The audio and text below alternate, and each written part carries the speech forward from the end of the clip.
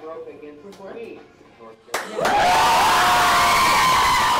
Here with the head coach of the Braves, Lars Andersson, and coach, now you know who you're playing in the NCAA tournament. Probably an easier selection show to go through this year, but what are your initial thoughts on getting to play Queens? Well, we played Queens in a preseason game, and uh, I know that uh, Coach Denise uh, does a great job with that team. And I don't think preseason games really tell you anything. Uh, you know, uh, both managers roll out all their players, and you're just trying to evaluate players. I don't, I don't know that you play those games to win.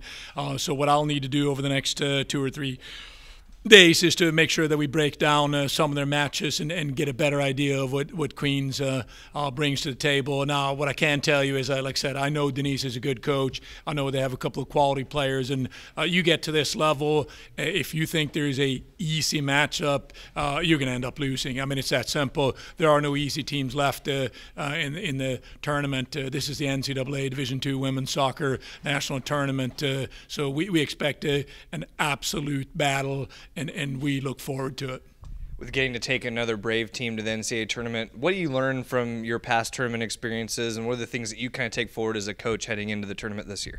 Well, I, I made it clear to the team that you get to this point in the year, uh, you just have to decide how badly you want it. To, uh, kids start thinking about, like I said, the weather and all the homework they have to do, and there are many other factors that come into play. And of course, all those things are important factors, but you have to be able to compartmentalize and say, for a 90-minute period, I can set all all of that aside, Thanksgiving, Christmas, uh, final exams, and, and, just focus on, on the soccer aspect of things. And uh, I think my team is very goal oriented. I think they're very focused, and I trust that they will be able to do that. I have no worries there.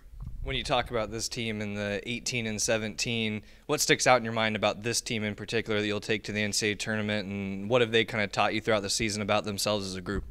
Well, I think they're resilient, as I have said many times in the last uh, two or three weeks. We started the season three and three, and you know when you're sitting there at 500 after six games, uh, you, are sort of at that point in the season where you you have to make a decision. What do you want to do with this? Uh, are, are, you going to trust the process? Are you going to trust a, a, coaching staff and your teammates and, and and and figure it out? And they did slowly but surely. We got there, and then the ball just kept rolling. And you know then we had a hiccup against North Georgia on the road in regular season play, and uh, you know, we were very hurt that we lost that game, but we righted the ship and have rattled off a number of wins since. Uh, uh, I, th- I, think this group is uh, mentally very tough. Uh, they're very talented. Uh, they're tough to score on. Uh, they're fit. They work extremely hard, and I think they care a great deal for each other, and that's a recipe for success in my book any day. All right, Coach, we're looking forward to watching your team in Carson Newman this weekend. Thank you.